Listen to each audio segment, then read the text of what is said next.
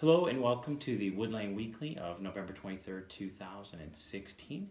Uh, I want to start off this week by thanking everyone for such a strong level of participation in the Bowling Green Holiday Parade. Uh, it was certainly an enjoyable time. Wood Lane was well supported. It was also a, a chance for us to give back to the community. Uh, was really impressed with the overall turnout at the event as it was very cold uh, at the parade and I know that the individuals who were on the float certainly uh, were touch colder than everybody who is having the opportunity to walk. So thank you for your participation, and we will see you again next year at the Holiday Parade. Uh, also this week is the board updates. So we had a board meeting on Monday, November 21st. A few areas of interest, the lockdown company. We did agree that we would uh, sign a contract with a lockdown company to install the boot system and the room placards, which is used for safety and security purposes and allows uh, our first responders to be more efficient upon arrival. Uh, we are happy to be one of the first agencies in Wood County to uh, initiate this process. In addition, we talked about increased federal revenue in terms of targeted case management and Medicaid administrative claiming. Basically, with a change in rates and also some structural changes here in terms of application of resources, we should increase our federal revenue next year by anywhere from 142 to 147 thousand dollars, which we are always thankful for that option opportunity. Other areas is we have initiated our strategic planning.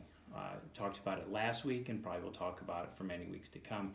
It is imperative that we get all stakeholders uh, to the table to discuss their uh, needs, wants, and desires for the growth of the board we will be looking for input from any and all stakeholders so that we can ensure we're developing a comprehensive and quality strategic plan.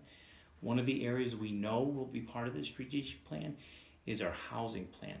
So we have begun stages to kind of strengthen and support that, and uh, we received approval to hire a housing coordinator uh, to allow us to specifically focus on, on development of uh, affordable and accessible housing here in Wood County. That is uh, just the first step in many on the development of a countywide housing plan. And finally, uh, we have, uh, you know, we're going to be uh, receiving new board members at the beginning of the year. So today, our county commissioners have identified that Marlene North, Tim Brown, and Jerry Miller will be new board members uh, commencing the term in January of 2017. So if you see Marlene, Tim, or Jerry around town, please congratulate them as they will certainly be our partners as we move towards the future. And lastly today, uh, we'd like to leave you with some pictures of the Sensory Trail. The Sensory Trail and the waterfall feature uh, that you should see in pictures now uh, is a culmination of a donation from the Wood Lane Foundation of $50,000 and $17,500 being contributed by the board, which should allow uh, for a very significant water feature and an option for individuals as they're traveling around campus uh, to experience uh, just a wonderful view.